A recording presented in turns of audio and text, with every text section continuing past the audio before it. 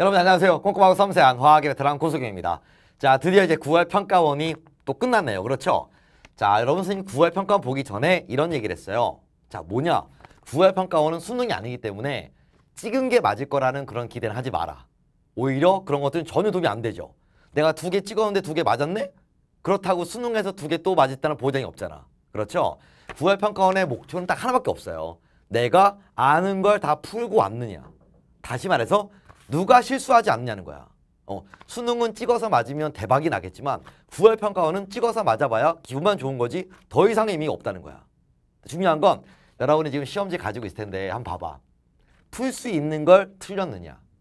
알겠나? 아니면 모르는 걸 틀렸는가. 이게 이 9월 평가에서 우리가 바라봐야 되는 가장 중요한 포인트입니다. 그래야만 그죠? 자, 아 나는 아직도 실수를 많이 하는구나. 또는 아 아직도 나는 여기를 모르는구나. 이런 걸 잡아내야만 앞으로 두 달 이상 남았단 말이에요. 그죠? 두 달 동안에 우리 학습 방향이 결정이 되는 거야. 알겠나요? 네. 일단 시험 보느라 수고 많았는데 자 이번 화학 원은 지금 해설하기 전에 이번 화학 원이 어떻게 나왔는지에 대한 총평을 간단하게 하도록 하겠습니다. 오케이? 음. 일단 많이들 궁금해할 건데 난이도입니다. 아 난이도는 일단 기본적으로 전체적인 난이도는 그냥 중간 정도의 중급 난이도라고 보면 되겠고요. 자 역시 마찬가지로 1번부터 17번과 그 다음에 18번, 19번, 20번 이렇게 세 문항 정도로 나눠지겠죠. 오케이? 음. 자, 즉 얘기는 뭐냐면 이번에 느꼈겠죠? 자, 20번 푼 사람 어, 훌륭합니다. 아, 근데 20번을 풀려면 많은 시간이 필요하지요. 왜냐면 이 문제가 왜 나왔는가? 무엇을 묻고자 하는가? 이거를 잡아내는데 좀 오래 걸릴 수가 있어요. 하지만 18번과 19번은 비교적 무난하게 풀 수 있는 알겠죠? 얘네들은 난이도가 최상급 난이도는 아니라는 거죠. 알겠나요? 난이도는 충분히 풀 수 있는 중급 유형이야. 우리 수업실에 했던 거잖아 이런 것들은. 그렇죠? 하지만 우리가 20번이 어렵게 느껴졌던 이유는 바로 뭐 때문이죠? 요거는 신유형이기 때문입니다. 이러한 유형을 접해보지 못했기 때문에 이 문제를 어떻게 접근해야 되는지가 오래 걸린 거지 시제 방향만 잡으면 사실은 아무것도 아니에요. 근데 중요한 건 선생님이 워낙 궁금한 건 이거예요. 그럼 과연 17번까지 다 맞았느냐는 거죠. 오케이? 그게 가장 궁금한 거야. 어. 자, 점수가 여러분이 만약에 만족한 점수가 안 나왔어. 혹시라도 35점 나왔네. 35점이 나왔다는 건 이거 세 개 때문에 나온 게 아니잖아. 그렇죠. 여기서 난데없이 틀려주기 때문에 또는 여기서 또 세 개 중에 운 좋아서 하나 찍은 게 맞을 수도 있죠. 그럼에도 불구하고 38점. 이 얘기는 여기서 틀렸다는 거기 때문에 이게 문제가 좀 있는 거예요, 사실은요. 그러니까 난이도는 1번부터 17번까지는 무난했고요. 무난. 하지만 항상 개념이 정확하냐 아니면 누가 여기서 실수하지 않느냐 누가 문제 좀 많이 풀어봤느냐에 따라서 학생들의 체감 난이도는 다르겠지만 실질적인 난이도는 그냥 무난한 형태가 되겠고 우리가 배운 대로 많이 나왔잖아. 그렇지? 어, 그러니까 결국 성패는 여기서 결정된다. 난이도는 토탈 중급이다. 이렇게 볼 수가 있습니다. 오케이. 자 그러면 이번 시험의 핵심 문항은 물론 얘기할 필요도 없죠? 18번. 그 다음에 19번. 그 다음에 20번입니다. 18번은 중화. 뭐 늘 예상했던 거죠? 자 다음 두 번째는 뭐예요? 양적 관계죠.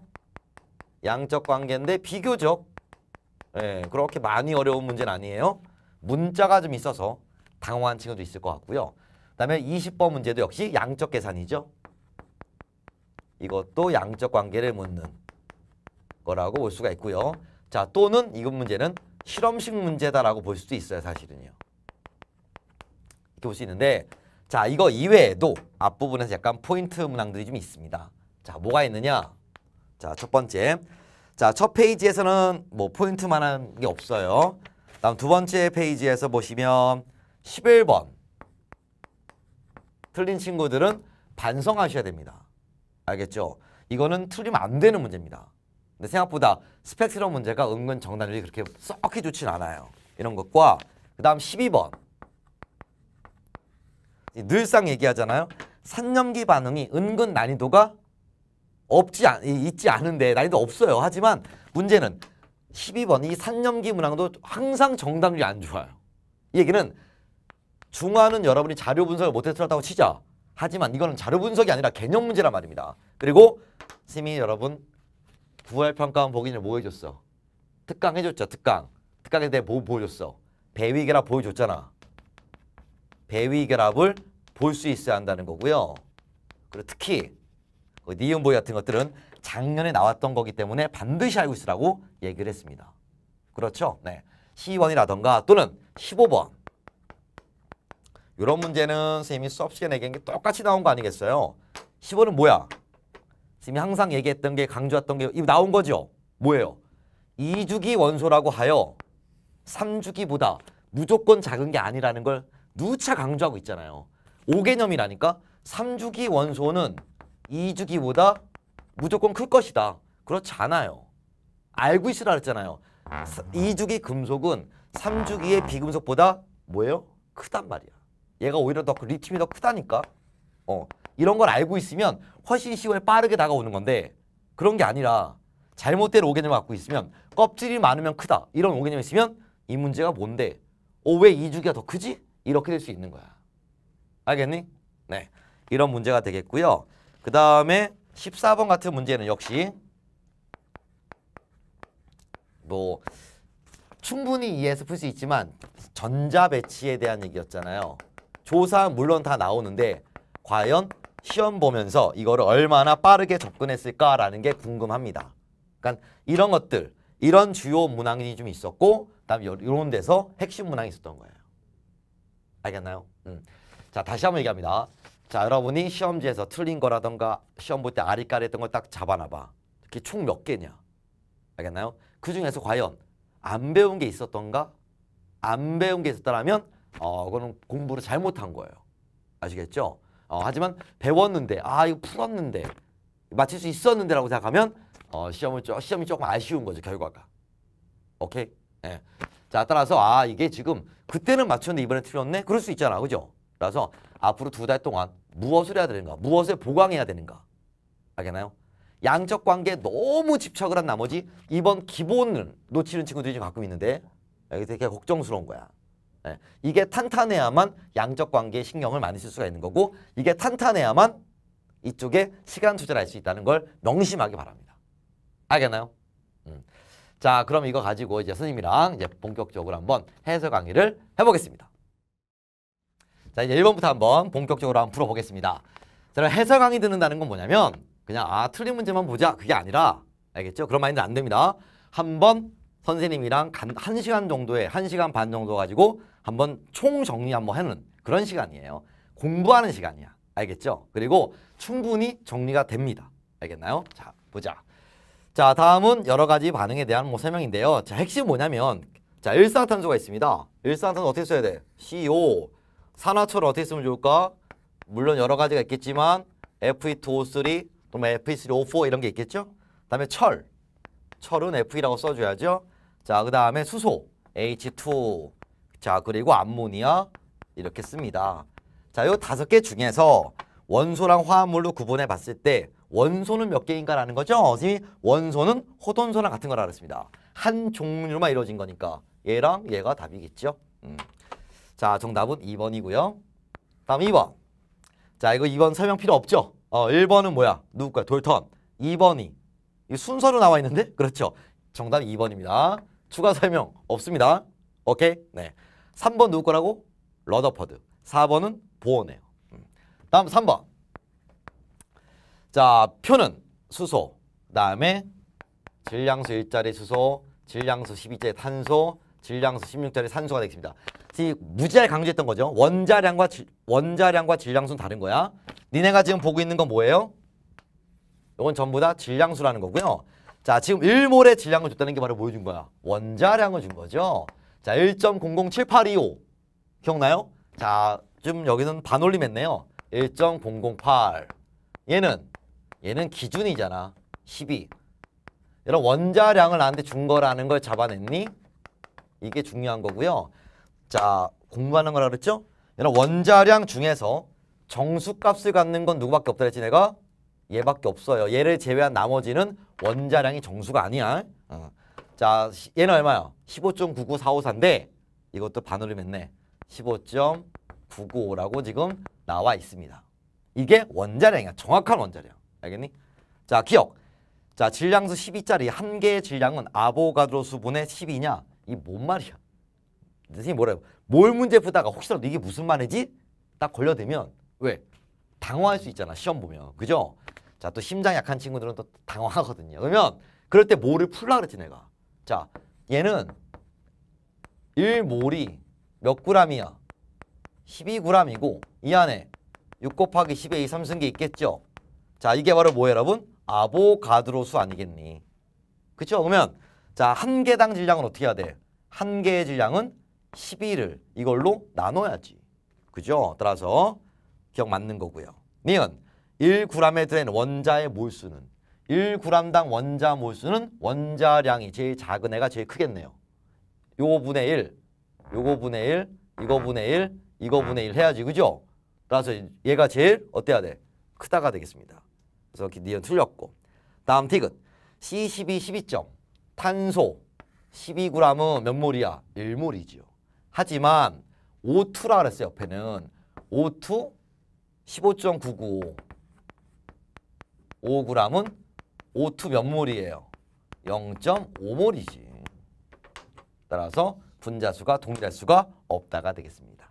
이런 건 뭐냐면 누가 실수하지 않느냐 누가 덤벙대지 않느냐는 거죠 사실 그죠? 다음 4번 이건 또 뭔가요 그죠? 어. 학생 A의 수행 실험인데 고체 NaC의 용융 전기분해입니다 여러분 용융 누구? NaCl 전기분해가 되겠고요 이걸 하기 위한 실험 장치를 고르는 거니까 뭐가 필요해요? 전기분해하려면 기본적으로 직류 전원 있어야 되니까 3번, 4번 중에 답이 있겠죠. 하지만 3번은 3번은 여러분 어떤 경우에 양쪽에서 기체가 나오는 경우가 필요한 거죠. 3번은 물의 전기 분해를 말하는 거니까 정답은 4번이죠. 계속해서 온도를 유지해 줘야 되잖아. 가열하고 있고 그다음에 NA는 기체가 아니니까. 그래서 4번이 답인 거예요. 됐죠? 다음 5번. 요까지는 신나게 풀었을 것 같은데요. 네. 자, 5번. 분자 가와 나가 있습니다. 가와 나. 뭐, 선생님 뭐라 했어? 쓰고 풀어라. 절대 눈으로 생각하지 마라. 가는 누군데? 이산화탄소죠. 나는 누구니? 시험에 무지하게 나온다는 HCN이죠. 사야나수소. 이거예요. 자, 이게 안 보였다면 어, 상태 안 좋아. 지금 분위기 안 좋아. 그죠? 어, 이건 보였어야 되겠고요. 다음 중 가와나의 공통점입니다. 옳지 않은 거. 극성이에요 이거? 무극성이네요. 이 극성이죠. 예. 1번이 답이네. 다중결합이 있느냐? 둘 다 있고. 극성 공유 결합. 이거 뭐라 했어? 극성 공유 결합으로 이루어진 무극성 분자가 되겠으며 둘 다 직선형이며 자 또한 공유 잔쌍은 전부 다 내쌍입니다. 오케이? 정답은 1번이네요. 다음 6번. 자, 다음 산성비랑 관련된 반응이다. 다음 중 산화환원만을 모두 고르시오라 그랬습니다. 자, 어떻게 해줘야 될까? 자, ENO 더하기 O2 화살표 ENO2가 있는데 자, 이런 문제에서 산화환원, 산화환원 문제가 산화환원만 고르는 거니까 쓸데없는 일 하면 안 되지. 여기서 굳이 산화수 필요 없잖아요. 호돈소가 있으면 무조건 산화환원이야. 알겠나요? 다음에 지금 질소랑 환원 꿰고 있으라고 몇 번을 얘기했습니까? 그렇죠? 자, 두 번째 식 ENO2 더하기 H2O 반응해서 뭐가 나왔어? HNO3 플러스 HNO2가 나왔어요. 이런 경우는 뭐가 핵심일까? 질소라니까. 얘가 얼마? 플러스 4. 이런 게 딱딱 보여야죠. 플러스 5. 이거는 플러스 3. 산화환원 맞죠? 네. 다음. 산화환원이 왜 어떻게 사는지 보이잖아. 그렇지? 음. 다음 세 번째. HNO3 더하기 물 들어가서 뭐 했어? H3O 플러스 더하기 NO3 마이너스라고 써있지요. 자, 산화수 질소 산화수입니다. 기계적으로 나와야죠. 플러스 5. 자, 이거 플러스 얘도 플러스 5야. 산소는 마이너스 2, 마이너스 2, 마이너스 2. 수소는 전부 다 플러스 1. 이 반응은 산화하는 반응이 아닙니다. 그래서 산화하는 반응은 두 가지가 되는 것이지요. 오케이? 음. 자, 정답 3번이고요. 다음 7번 보겠습니다. 다음 네 가지 이온의 전자 배치입니다. 자, 어떻게 한다 이것도 마찬가지야. A 플러스, B 마이너스, C 마이너스, D 플러스.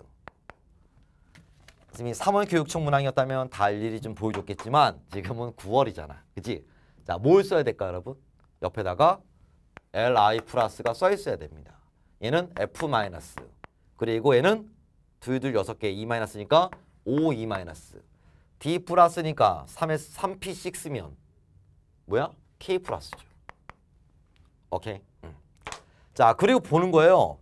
A, B, C, D 중에서 원자과 전자가 가장 큰 건 한 개, 일곱 개니까 얘가 답이죠.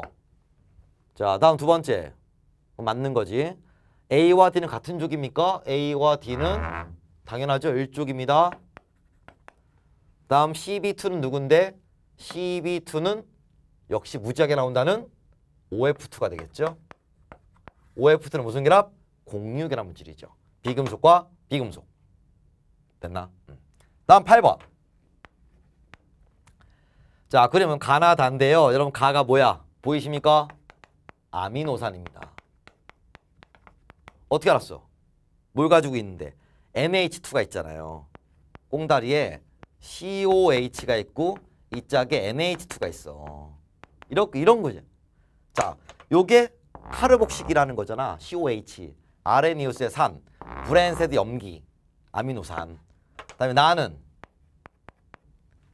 오탄당이죠. 네, 탄소 다섯 개짜리 오탄당이고, 그다음에 다는 아데닌이야. 아데닌이 뭔데? DNA 염기 아니에요. 네. 자, 공통점 찾아라. 첫 번째, 공유결합 물질입니까? 여기 지금 잘 보시면 금속이 없어요.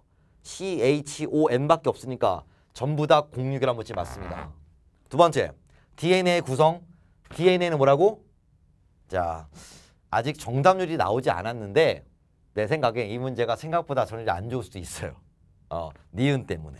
환장한다 진짜. 알겠지 그러면. 요 DNA의 그 구성 물질이 뭐예요? 당, 인산, 염기죠. 얘랑 얘는 DNA의 구성 뉴클레오타이드의 성분 맞아. 하지만 얘는 아니잖아. 그지? 다음 분자 1몰 완전 연소할 때 생성되는 CO2는요. 자, 1몰당이라 그랬으니까 탄소가 몇 개 있어요? 다섯 개. 하나, 둘, 셋, 넷, 다섯 개. 얘도 하나, 둘, 셋, 넷, 다섯 개니까 탄소가 전부 다 다섯 개 있단 말이야. 분자 한 개당. 그러면 1몰 연소 시 생성되는 CO2는 전부 다 5몰 당연한 거지. 알겠니? 이렇게 풀어주는 겁니다. 요까지는 정말 어려운 문제가 있다 없다? 전혀 없습니다. 자, 이어서 8, 9번부터 보겠습니다. 자, 이어서 9번입니다. 자, 표는 화합물 가와 나에 대한 자료이다. X랑 Y는 2주기 원소이다. 자, 2주기니까 뭐 thank you 아니야? 그렇죠?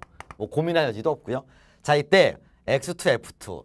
선생님 수업 잘 들은 친구들은 기억하겠지만 선생님이 2주기 원소의 수소 화합물이 너무 많이 나왔단 말이야. 알겠나요?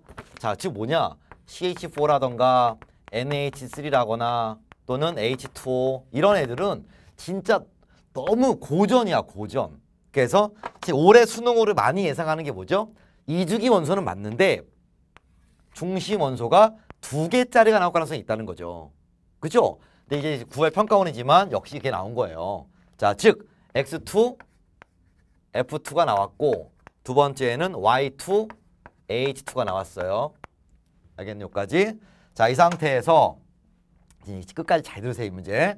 자, 이거 뭐 굉장히 쉬운 문제지. F는 어차피 단의 결합밖에 안 되기 때문에 X가 두 개 있고 F가 하나씩 달고 있어야 합니다.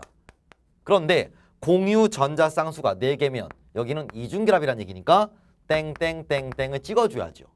분자 모양 문제는 비공유로 시작해서 비공유로 끝납니다. 오케이? 따라서 이렇게 되는 거지만 조금 여유가 있다면 이렇게 꺾어져 있다는 것까지도 머릿속으로 생각할 필요는 있는 거죠. 물론 얘가 위로 꺾을 수 있어요. 네. 다음. 자, 얘는 y가 두 개인데 역시 수소는 단일 결합밖에 안 되니까 이렇게 그리겠는데 자, 공유가 다섯 방이면 이렇게 되는 거잖아.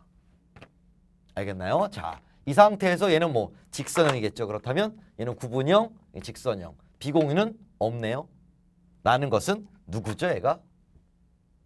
얘가 누구야? 결합 방식 15족이죠. 따라서 이게 N2 F2를 말하는 것이며 자 얘는 C2 H2를 말하는 것이다.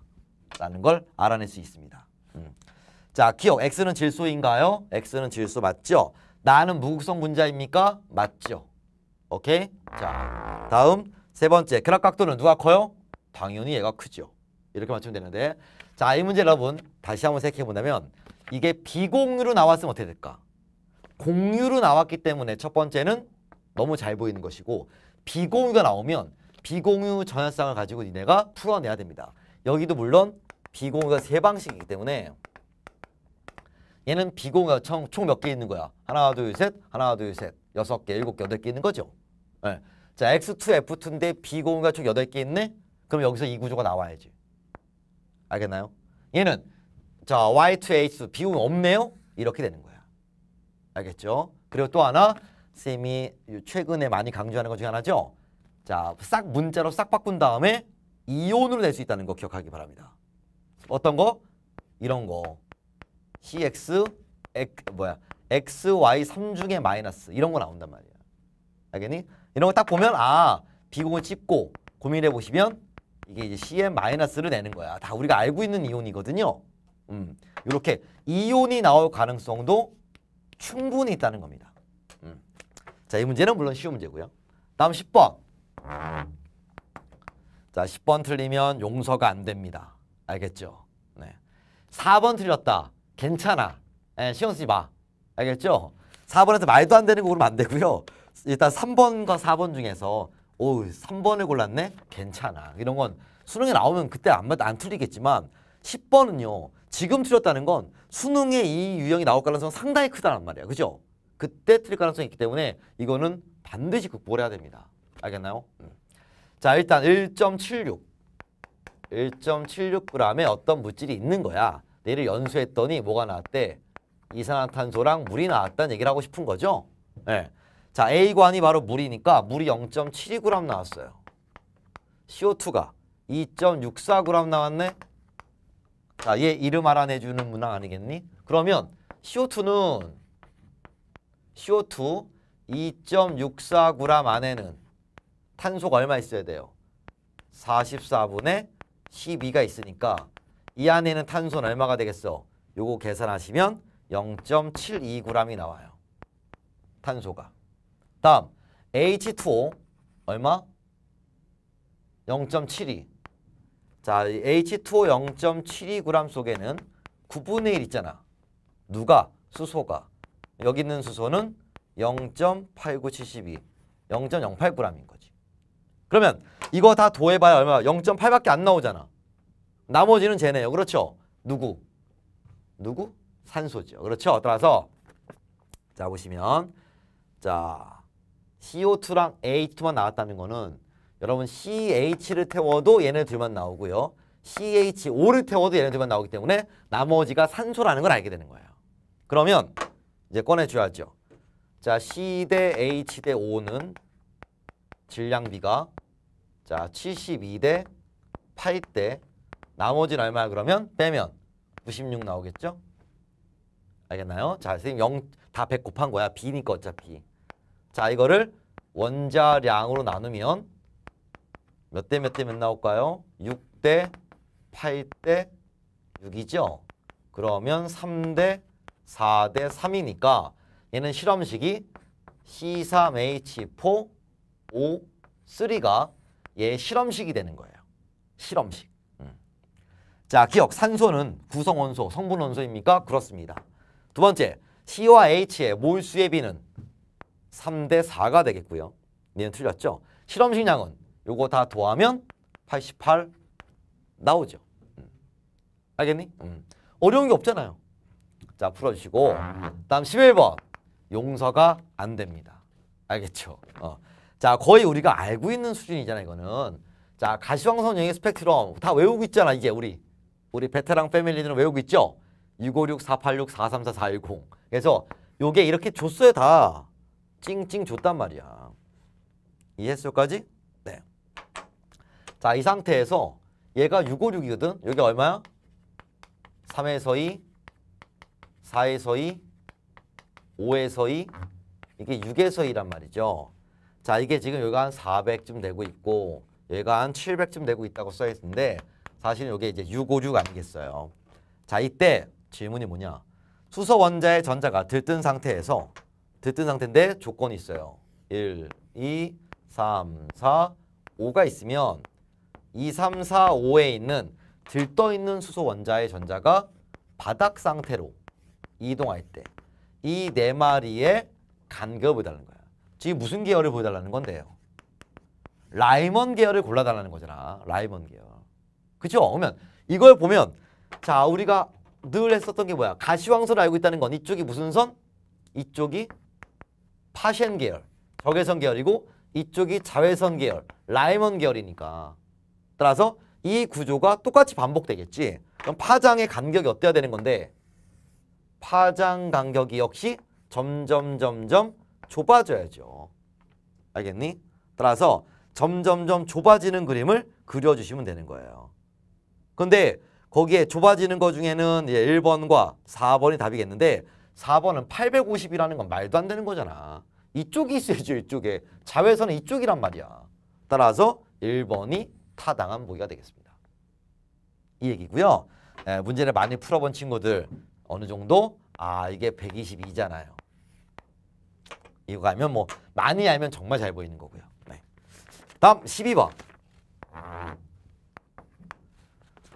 자, 선생님 총평에도 얘기했는데 산염기 반응이기 때문에 정답률이 이런 거 문제는 그렇게 생각보다 그만큼 높진 않아요. 굉장히 쉬운 문제인데. 왜? 대충 풀어. 예, 손으로 쓰면서 풀어줘야 되고. 자, 그리고 선생님이 나 반응은 반드시 기억하라 그랬죠, 내가? 네. 가나다 세 반응이 있어요.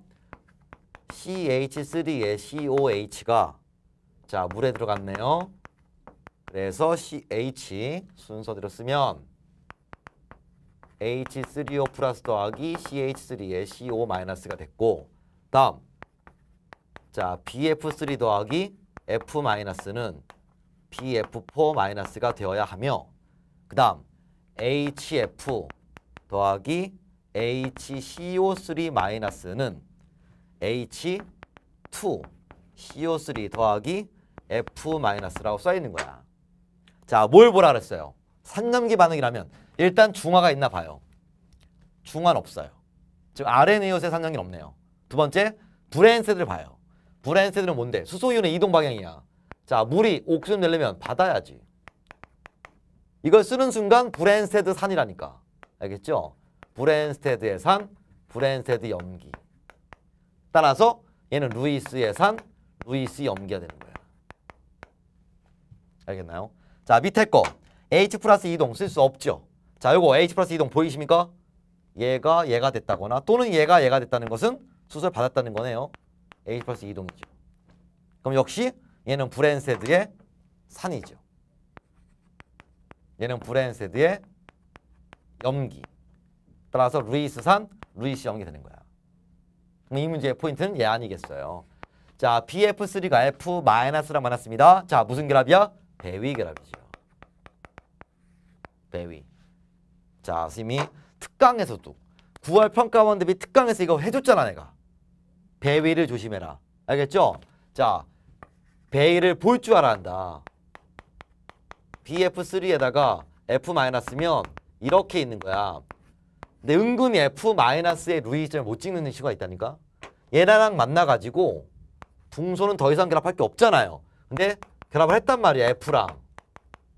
이러려면 알겠니? 자, 더 이상 결합할 전자가 없는데 어떻게 결합했을까? 얘가 네 쌍을 다 갖고 있는 옥텟이기 때문에 얘가 전자를 제공했잖아요. 그래서 얘가 루이스 염기인 거지요. 얘는 루이스의 산인 것입니다. 오케이? 음.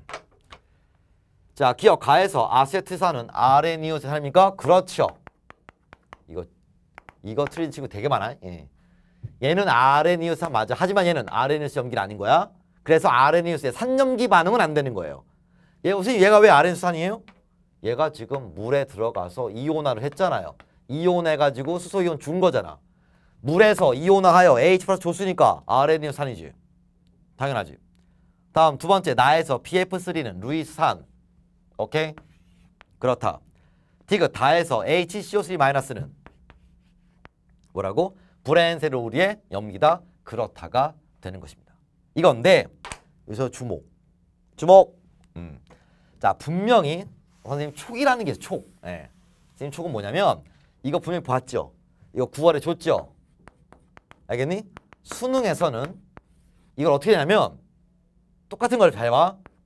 HF 더하기 NaHCO3 화살표 H2CO3 더하기 NaF 이렇게 낼 수 있는 거예요.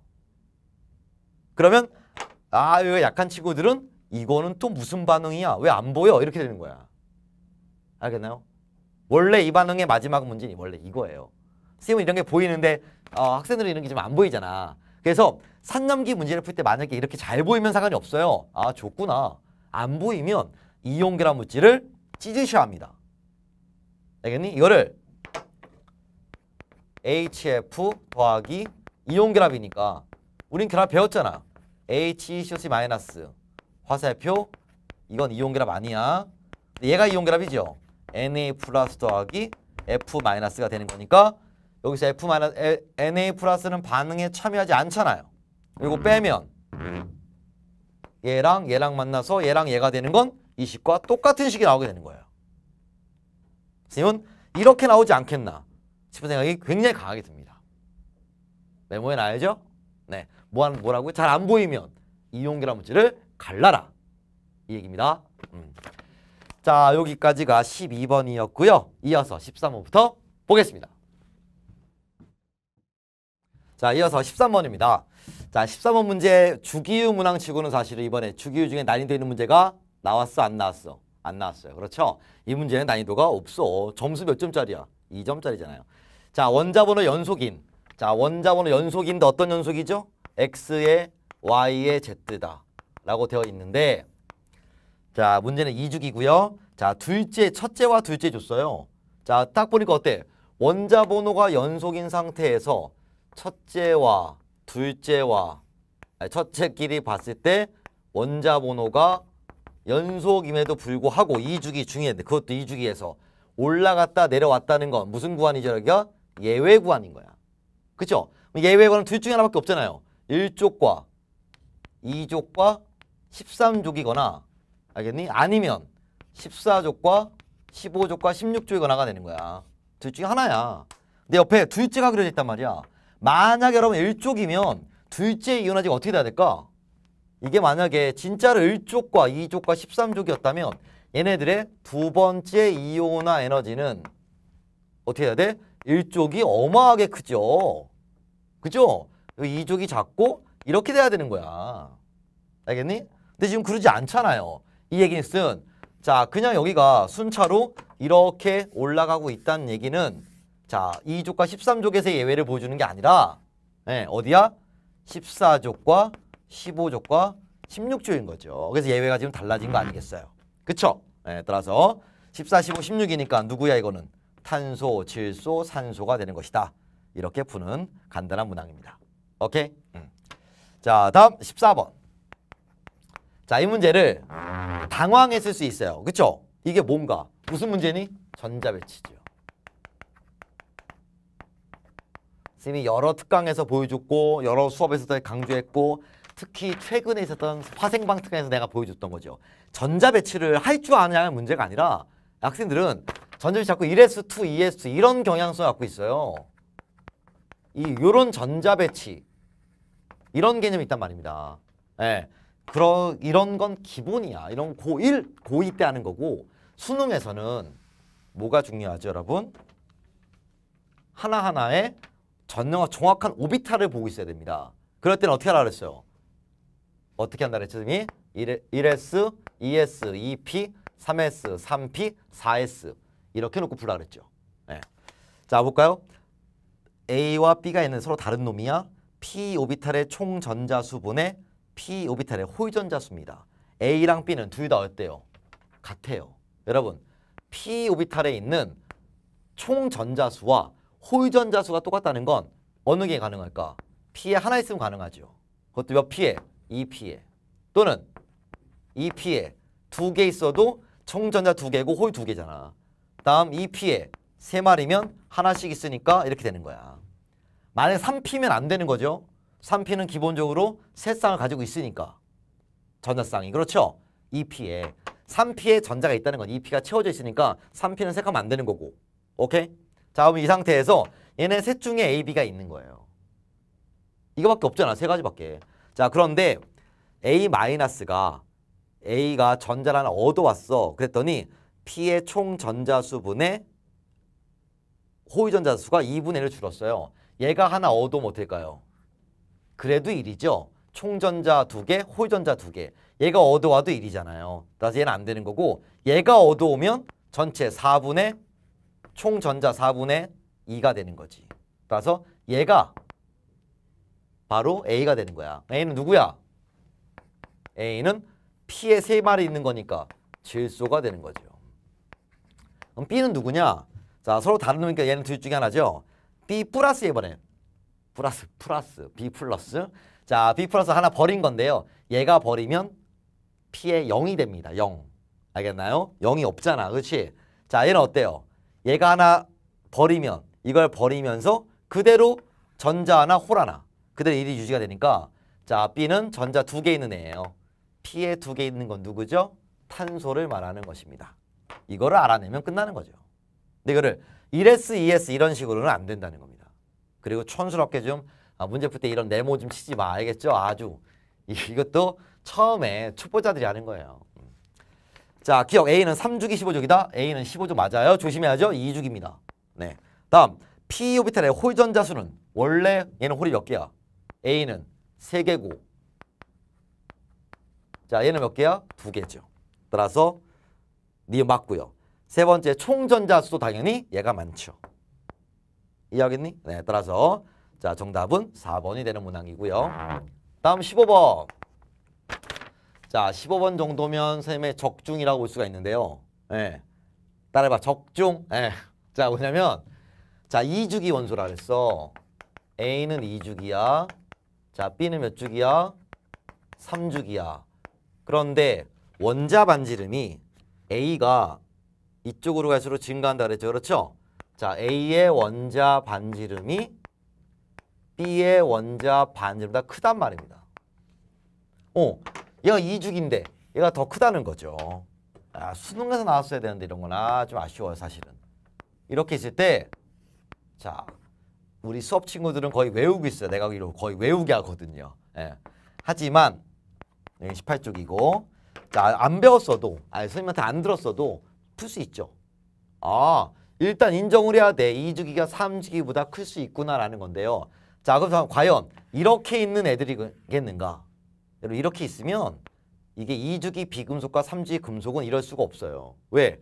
얘보다 얘가 크고 얘보다 얘는 더 클 테니까. 그럼 얘가 왕 크다 그랬잖아. 그렇지? 따라서 이건 안 되는 거야. 따라서 이건 누구야?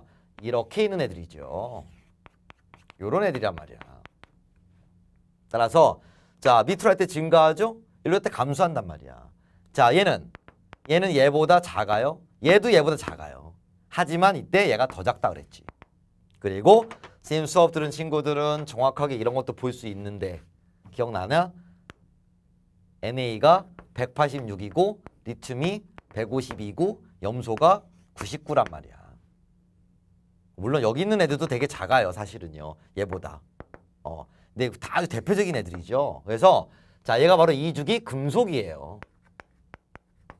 얘는 3주기 비금속인 겁니다.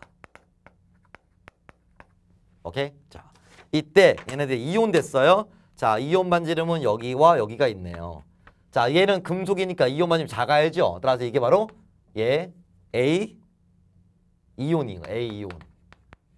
얘는 B 이온이다. 이렇게 써줘야지. 됐니? 음, 그럼 풀 수 있습니다. 자, 원자과 전자수는 B가 A보다 크다. 자, 주기표상에서 위치 잡아낸다면 어, 정확히는 몰라도 A는 금속 쪽에 있어야 되고 B는 비금속 쪽에 있어야 되기 때문에 원자과는 당연히 이쪽이 커야 됩니다. B가 크죠. 따라서 기억 맞고 A이온과 B이온의 안정한 전자 배치는 A는 안정한 전자 배치가 이쪽이겠죠. 헬륨 쪽이고 얘는 누구 쪽이야? 염 아르곤 쪽이잖아. 따라서 말도 안 되는 거고요. 다음 니은은 니은이 어디죠? 여기. 니은은 B 이온의 반지름인가요? 당연하지. 이렇게 풀어주면 되겠습니다. 됐나? 음. 다음 16번. 자, 다음은 Na2Cr2O7과 탄소가 났습니다. 자, 무슨 문제구나? 산화수죠. Cr2O7 자 플러스 EC가 만나서 자 Cr2O3 더하기 Na2CO3 더하기 CO가 됐어요. 산화수 쓰면 끝나는 거 아닐까? 자 이거 이온계란 물질이잖아요. 따라서 요게 Na 플러스 두 개니까 Cr2O7 E-란 말이야. 따라서 여기는 크롬 얼마짜리입니까? 산소가 7개면 얘는 플러스 6자리가 지금 두개 있는 상태죠. 자, 다음 얘는 0이고요. 여기는요. 산소가 마이너스가 3개니까 얘는 플러스 3자리가 두개 있어야 합니다. 오케이? 다음 얘는 요 C는 얼마짜리야? 이것도 Na 플러스가 있으니까 뒤에 쪽이 CO3 2 마이너스네. 자, 그럼 여기 C는 얼마짜리라고요? 플러스 4짜리고요. 자, 얘는 플러스 2짜리입니다. 자, 산화하는 관계 볼까? 자, 크롬이 플러스 6에서 플러스 3 됐고요. 뭐 했다? 환원. 다음, C가 오다가 갈라졌네요. 둘 다 산화네요. 네. 자, 기억. 동글뱅이 기억은 누군데? 얘야. 얘는 무슨 죄야? 지가 산화했으니까 환원제가 되겠습니다. 땡. 크롬은 플러스 6에서 3으로. 옳다구나. 네. 다음 세 번째. 니은과 디귿의 산화수는 예, 얼토당토하지 않습니다. 그렇죠? 네. 정답은 2번이다. 이렇게 푸는 거고요. 다음 17번.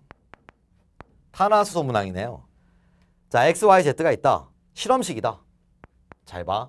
X, Y, Z에서 실험식이 CH3고 CH2에 CH야. 하지만 탄화수소는 실험식이 실험식만 가지고 누군지 알 수 있는 애들이 가끔 있잖아요.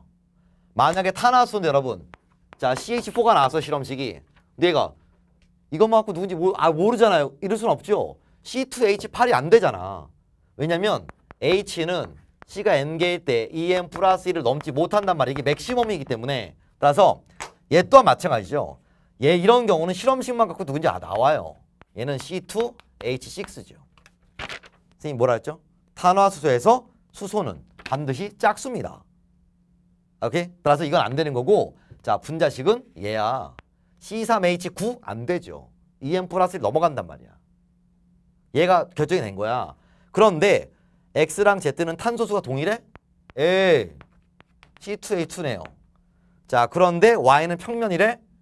야 이런 애가 어딨어 그죠? 얘는 여러 가지 건데 봐봐 C2H4, C3H6 뭐 등등등 있을 거 아니야. 그지요? 자 그런데 지금 이 탄화수에서 가장 강조한 애가 얘라는 거 기억납니까? 모든 원자가 평면이다. 하지만 C가 3개만 돼도 이렇게 있다면 이쪽이 입체란 말이야. 따라서 안 되는 거니까 얘는 모든 원자가 평면이려면 C2H4라고 그게 누군지 알아낸 거예요.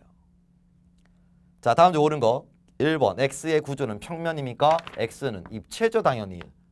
탄소 두 마리가 이렇게 있어야 합니다. Y엔 삼중결합이 있다. 삼중결합은 여기 있네요. 다음 Z의 결합각은 몇 도? 180도죠. X랑 Y의 수소 원자 수, X, Y의 수소수는 3대2 그렇다. 정답. X, Y, Z의 탄소 원자 수의 총합은 6개가 되겠습니다. 이렇게 풀어주죠. 어렵지 않잖아. 그렇죠? 인간적으로 맞춰줘야지. 13, 14, 15, 16, 17에서 보통 하나 정도는 좀 꺼림직하게 나오는데 그런 게 없어요. 그래서 이번 9월 평가원은 사실은 6월 평가원보다는 오히려 난이도는 조금 더 쉬워요.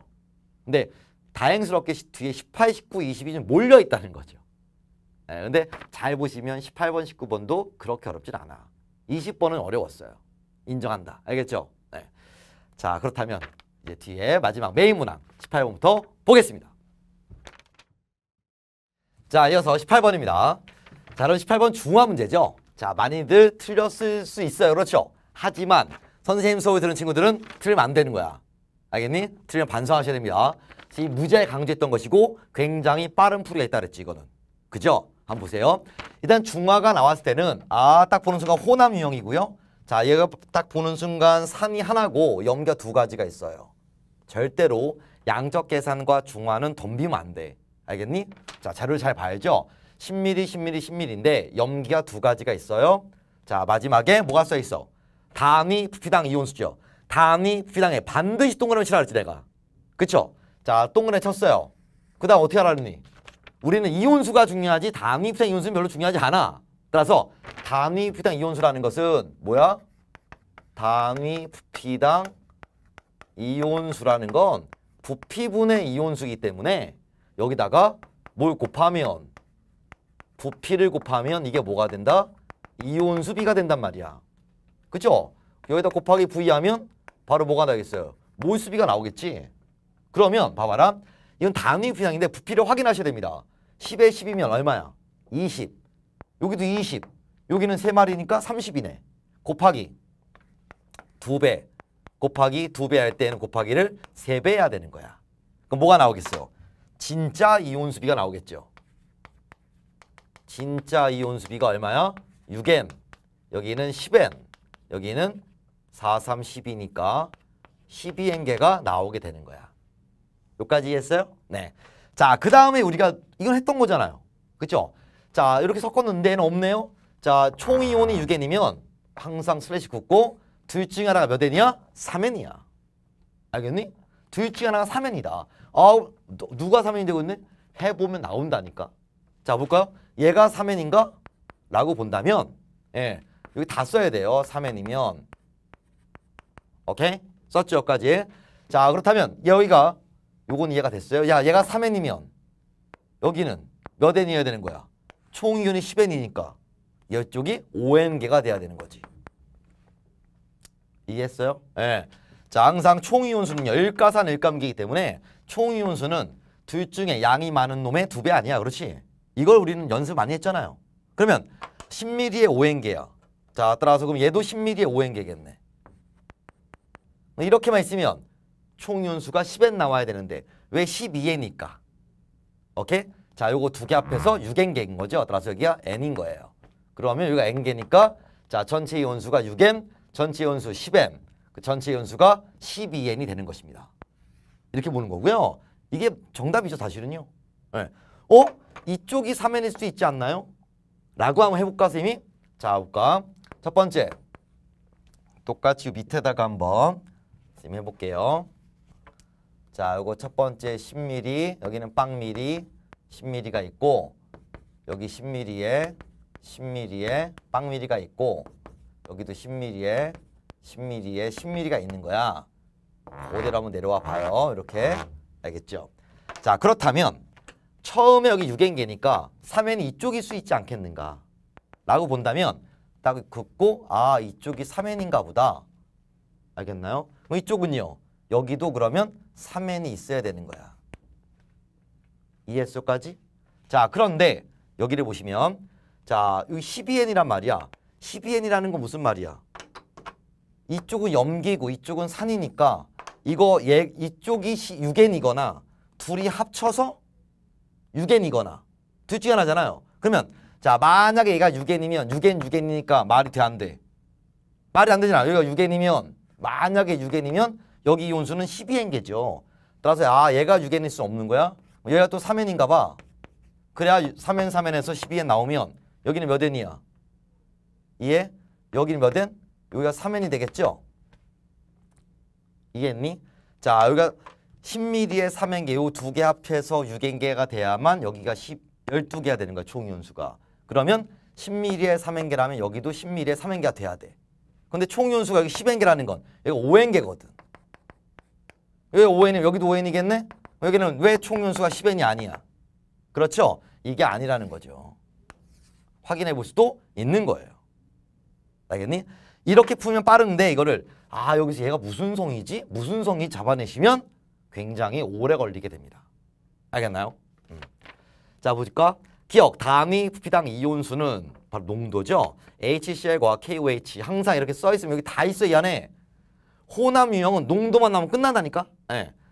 자 단위 부피당 이온수 HCl과 KOH, HCl과 KOH 누가 커? 3대 1이죠. 정확히. 네. 맞는 거고요. 근데 가에다가 NaOH 4mm를 섞으면 여기다가 NaOH를 4mm를 더 넣으래요. 알겠니? 자, 이거 4mm를 만약에 넣으면 요거 3mm 안에 몇 개 있겠어요? 10에 5n이면 3mm에 2n개 있으니까 합쳐서 중성이 되겠지요. 맞죠? 다음 세 번째. 이건 지우고. 자, 가와 나를 섞으면 중성이래. 가와 나 섞으면 여섯 개, 여섯 개. 중성이잖아. 그 정답은 5번인 거죠. 알겠나요? 네. 이 문제는 사실은 푸는데 한 1분, 1분 30초 정도 안에 풀 수 있어요. 오케이? 기계적으로 단위 풀다 이온수가 나오는 순간 전체 진짜 이온수비 꺼내주고 그다음에 바로 꽂아 넣으면 나오는 문항입니다. 그래서 우리가 이런 걸 배운 거잖아. 근데 많은 친구들이 선생님 풀이를 듣고 아 이해를 한 다음에 실전에서는 못 써먹는 친구가 많다니까. 왜 그럴까요? 훈련을 안 해서 그런 거지. 훈련을 좀 더 하셔야 됩니다. 알겠죠? 음. 다음 19번. 자, 스님이 이번에 무슨 얘기를 많이 했어요? 여름방학 때. 3, 4, 50 하면서 기체 반응에서 개수비를 좀 개수가 증가한다 감소한다가 아니라 정확히 얼만큼 증가하는지 개수비를 논하는 문제를 많이 풀었단 말이야. 그렇지? 지금 많이 강조했고요. 자, 이 문제도 얘는 A는 개수가 있는데 나머지는 개수가 없어요. 또한 이건 하나의 적정 유형입니다. A가 A가 있죠. A가 있는 실린더에다 B를 넣겠대. 자, 여기 A가 있는데 여기에다가 B가 들어오는 상황이라고 보시면 되죠. 여기는 실린더니까. 오케이? 이렇게 나온 거야. B를 점점점 집어넣을 때 실린더는 점점점 올라가고 있어요. 그쵸? 자, 덤비지 말라 그랬습니다. 자료를 다 보아라. 자, 뭐가 써 있어요? 기억과 니은에서 C의 질량이 동일하다. 기억과 니은에서 생성된 C의 질량이 똑같다는 건 나한테 뭘 준 거예요, 여러분? 니한테 뭘 준 거니? 어디가 완결점이다. 이 문제는 완결점을 줬기 때문에 문제가 바로 풀리게 되는 거죠. 이 뒤로는 반응이 없다는 얘기잖아 사실은. 그럼 생성된 C는 올라가다가 꺾였겠지 이렇게. 이거 아니겠니? 알겠나요? 그렇다면 자 문제 마지막에 또 있어요 조건이 기체 1몰의 P는 24리터니까 몇 몰이에요? 0.5몰 요건 몇 몰이야? 1몰 요건 몇 몰이야? 1.5몰 이렇게 쓸 수 있는 거잖아 그렇죠? 근데 잘 봐라 여기서 요 뒤로는 반응이 없다는 것은 자 여기 지금 여기서 여기까지가 몇 몰이에요? 0.5몰 여기 여기까지 0.5몰이니까 자 반응이 끝났으면 집어넣은 만큼 올라가는 거 아니겠니? 따라서 여기서 여기까지 들어간 B가 몇 몰인 거야? B가 0.5몰이 추가로 들어간 거예요. 그래서 반응이 없으니까 당연히 그만큼 부피가 증가하게 된 거지. 그럼 따라서 요것도 0.5몰, 요것도 0.5몰인 거지. 이해했어요까지? 그러면 B는 어떤 애야? B는 0. B는 0.5몰이 몇 g인 거야? W g인 거니까 자 B의 분자량은 얼마이다? 빨간색 B의 분자량은 2W가 되는 거예요. 이해했어까지? 네, 꺼내주고 자그 다음 이제 보세요. 처음에 얼만큼 있었구나? 아 얘가 0.5몰 있었구나. 그런데 얼마 넣었어요? 요까지 0.5몰이죠 이게 B 0.5몰을 넣었어요. 그랬더니 반응해서 얼마가 됐어? 부피가 1몰의 부피가 됐다는 건 0.5몰, A 0.5몰에 B 0.5몰 넣었는데 이 안에 몰수가 1몰이 된 거야. 반응 끝나고 이 반응은 몰수의 변화가 있어 없어? 이 반응은 반응할 때 기체의 몰수 변화가 없는 반응이라는 것입니다. 다시 한번 0.5몰에 0.5 넣어서 1몰 됐으니까 반응 끝나고 몰수가 없, 몰수 변화가 없는 거죠. 그러면 어떻게 해야 돼? 이 개수랑 이 개수의 같은 거니까 1 더하기 B는 C가 되는 거 아니야. 이해하겠어? 네. 자, 따라서 질문이 뭔데? B 빼기 C 곱하기 B의 분자량을 구하라 그랬어요. 자, B 빼기 C가 얼마겠어요? B 빼기 C는 마이너스 1이고 자, 얘의 분자량은 2W잖아요. 곱하기 2W 하면 얘가 답이 되는 것입니다. 마이너스 2W. 오케이? 됐니? 자, 다음 20번. 자, 이번 문항에서 이걸 푼 친구는 거의 많, 진짜 많이 없을 것 같아요. 어, 왜냐면, 아, 출제 의도가 너무 까다로워. 아, 문제를 낸 사람만 이해하지 않을까 싶은 그런 문제이기도 합니다. 사실은요. 근데 일단, 어, 이건 사실은 많은 훈련이 되어 있는 친구들만 가능한데, 근데 단 조건이 하나 있는 게 뭐냐면, 여러분들은 근데 수학을 잘한단 말이에요. 그렇죠. 아, 보겠습니다. 왜 그런 얘기를 하는가? 자, X, 탄화수를 연수했는데 독특한 문제죠. 탄화수가 액체 상태입니다. 그렇다면 자 C가 X의 HY인데 누군지 몰라요. 자 액체란 말이야. 여기다가 O2를 넣으면 이 정도 개수는 세울 수 있죠. X 플러스 4분의 Y O2에다가 반응해서 X CO2 더하기 2분의 Y의 H2가 되는 반응이에요. 네, 반응 끝나고 얘네가 탄화수소 XY가 남아있다는 것은 O2가 모두 반응했다는 걸 얘기하고 싶어요. 그죠? 한 개 반응물이 O2구나. 그리고 자 여기서 실린더의 부피에는 얘는 영향을 안 주잖아요. 액체니까. 기체만 보는 거잖아 우리는. 그렇죠? 이 뜻이야.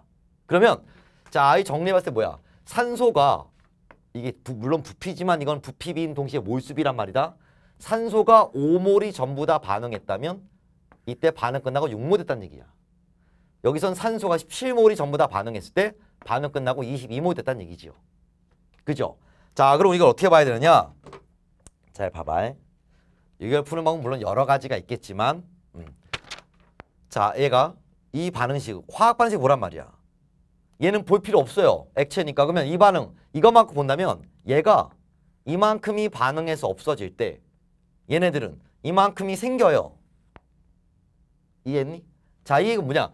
어떤 놈이든 간에 어떤 탄화수든 얘를 무시해버리면 자, 산소가 x 더하기 4분의 y 몰이 반응하면 반응하면 없어진다는 얘기잖아요. 그렇죠? 없어지면 자, 생성되는 물질의 몰수는 x 플러스 2분의 y 몰이 생긴단 말이야.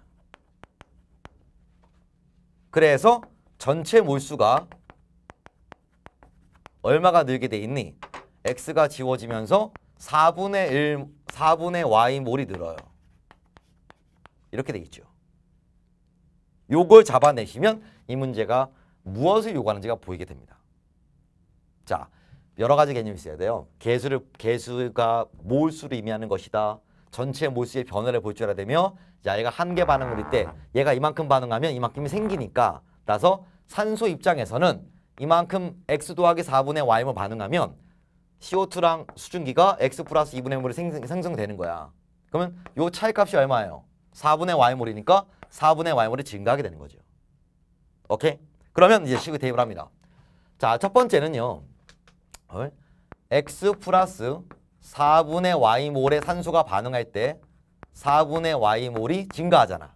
증가된 몰수가. 그러면 자 산소가 5몰 반응했을 때 1몰 증가했잖아. 그쵸? 5에서 6이니까 증가한 건 1밖에 안 되는 거죠. 따라서 이걸 풀면 x 더하기 4분의 y는 얼마냐 이게? 4분의 5y가 되겠죠? 5y가 되면서 x는 넘어가면 4분의 4니까 x는 y가 되는 거야. 뭐가 나와버렸어요? 아, 첫 번째 실험한 탄화수의 CXHY에서는 C랑 H가 X랑 Y가 C랑 H가 몇 대 몇이다? 1대 1이다 라는 거죠. 무슨 식? 실험식을 준 겁니다. 알겠나요? 네. 자, 다음 두 번째. 마찬가지야. 다시 한번 두 번째 실험은요. X 플러스 4분의 Y가 모두 반응했을 때마다 4분의 Y가 증가하는데 이건 17. 몰 증가 17몰 전부 다 반응했을 경우에 5몰 증가했잖아 지금 이걸 풀면 자 이거 괄호 쳐주고 5x 더하기 4분의 5y는 4분의 17y가 되니까 넘어가면 5x는 4분의 12y 얼마지? 3y가 되는 거야. 그래서 x 대 y는 몇 대 몇이야 이런 경우는 3대 5가 되는 거죠. 두 번째 탄화수는 x랑 y가 3대 5라는 건 역시 실험식을 준 거죠. CH는 3대 5입니다 라는 걸 준 거예요. 그래서 기억 보기 봐봐라. 탄소의 질량 백분율은 x가 y보다 크다 작다. 자 얘는 CH고 실험식이 얘는 C3H5니까 탄소를 맞추면 정확히 비율이 나오겠죠. 그렇죠? 탄소의 질량 백분율 누가 더 큰 거야? 얘가 더 큰 거죠. 그렇죠?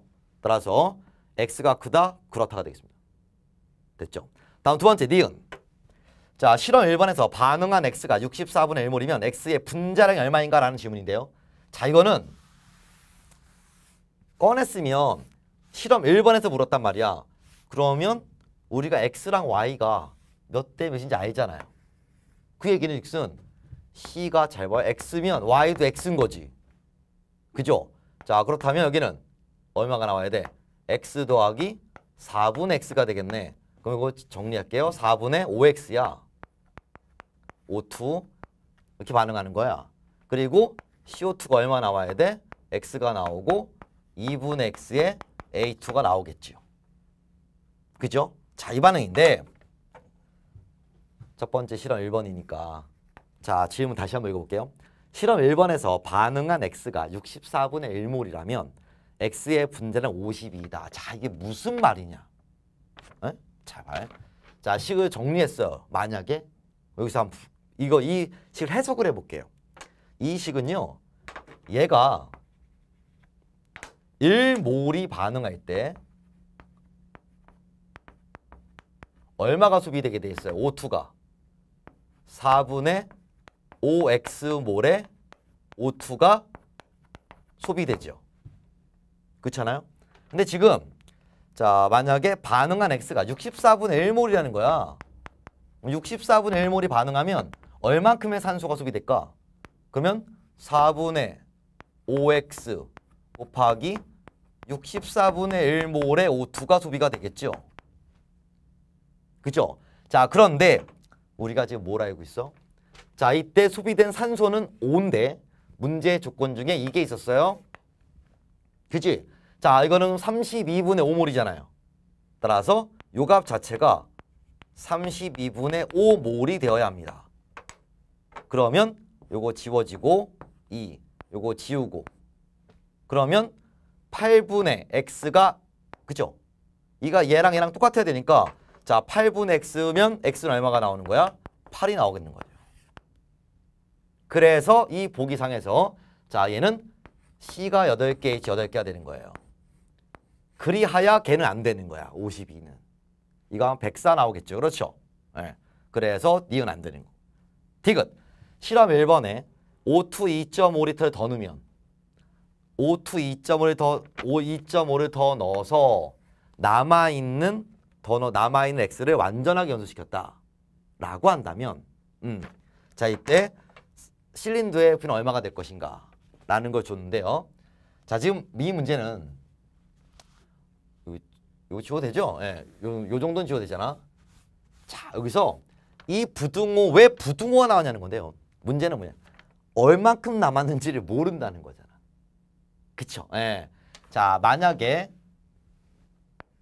조금밖에 안 남았다면 지금 여기가 5니까 자, 지금 5몰 넣었을 때 1몰 증가했잖아요. 그래서 6몰이 된 거야. 산소가 5몰 전부 다 반응해서 자, 전체가 1몰이 증가했고 전체가 6몰이 됐어요, 지금. 이렇게 친다면 음. 자, 여기다가 산소를 2.5몰을 더 넣어보자. 이게죠까지. 자, 그렇다면 2.5몰을 더 넣으면 남아있는 놈이 얼마가 되겠어요?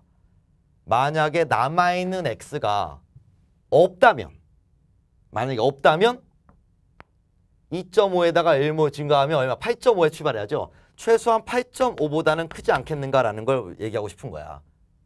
만약에 남아있는 게 없다면 8.5예요. 그냥. 그쵸? 2.5만 더하면 되는 거니까. 하지만 남아있다고 전제를 깔았기 때문에 그쵸? 8.5보다 무조건 증가해야 되는 거고요. 그러면 자 만약에 얼마큼 남았을까? 요 2.5가 완벽하게 반응할 만큼 남았다면 이해했어요? 어, 즉 반응 끝나고 얘가 남지 않는다면 이 산소가 남지 않는다면 똑같은 비율로 반응하니까 어떻게 해야 돼? 3몰 증가해서 전체는 5에서 2.5니까 여기서는 0.5몰 증가할 거 아니야.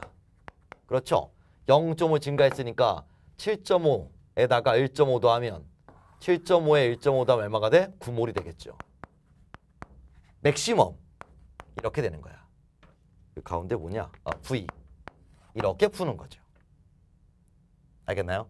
산, 이 남아있는 탄소가 탄화수소가 얼만큼인지 모르기 때문에 이런 설정이 나온 건데 어, 물론 여러분은 쉽게 이렇게 풀었을 수 있어 사실은 푼 친구들 중에서 야 5몰이 반응했을 때 산소가 5니까 여기 6된 거 아니야 그렇죠? 2.5 넣으면요 2.5 3 더해서 9 나오는 거 아니야 9니까 답이다 이렇게 맞았을 수도 있겠지만 그거는 이제 문제 출제 의도는 조금 어, 벗어난 거죠 알겠나요? 네. 자 여기 20번 문항이었는데 물론 지나고 나면야 이해가 되겠지만 여러분 심지어 알아요. 선생님 이거를 시험 볼 때 어떻게 어, 어떻게 이거를 이 생각을 하고 이 발상을 하나요? 라는 건데요. 그래서 물론 많은 유형을 푸는 것도 중요하지만 하나하나 이런 것도 하나 유형이잖아. 이걸 9월에 만난 걸 다행으로 생각해야죠. 그렇잖아요. 예. 그리고 9, 20번 같은 문제는 너무 많이 틀렸을 거기 때문에 사실은 크게 변별력을 주질 않아. 하지만 최상위권 친구라면 이 정도 문제는 어디까지 접근했냐를 따져봐야 됩니다. 어디까지 거야. 알겠나요? 아예 손을 못 댔느냐. 아니면 기억은 해결했는데 니은이 무슨 말인지 몰랐느냐. 그런 거 되게 사소한 거 같지만 되게 큰 실력 차거든요. 알겠어요? 음. 자 이렇게 해서 우리가 9월 평가원 어, 화학원에서를 봤는데 자 여러분 9월 평가원은 수능 아닙니다. 그렇죠? 오케이? 예. 지금 아는 애들 중에는 9월 평가원은 30, 36점, 37점에서 수능 때 47? 많아요. 왜? 수능 전에 한 두 달은 집중 여러분 집중력이 어마어마해지거든. 그리고 여러분 겨울에 푼 문제는 기억나요, 안 나요? 안 나잖아. 하지만 최근에 푼 문제는 기억이 좀 나잖아요. 마찬가지죠. 그래서 우리가 수능 전 두 달 동안은 정말 많은 문제를 집중해서 보는 거예요. 알겠니? 네. 자, 여러분 할 수 있다는 생각 가지시고 선생님 이제 상반기에는 선생님 뭐라 했어 항상? 아, 이해됐다고 끝나는 게 아니죠. 어, 완 그거를 능수능하게 능수능하게 풀 수 있을 때까지 공부해야 됩니다. 라는 거고요. 즉 잘할 때까지 훈련하는 얘기고요. 이제 하반기에는 잘할 수 있는 데까지가 아니죠. 틀리지 않을 때까지 꾸준하게 문제를 풀어줘야 합니다. 아무리 쉬운 아무리 쉬운 범위라 할지라도 아무리 쉬운 단원이라 할지라도 오케이? 네. 항상 자신의 자신 있는 거랑 자만하는 건 다르죠. 자신감은 절대로 놓치면 안 되지만 절대로 또 자만해서는 안 됩니다. 끝까지 투혼을 발휘해서 여러분의 수능 대박을 쌤도 기원하겠습니다. 여러분은 할 수 있습니다. 여러분 화이팅!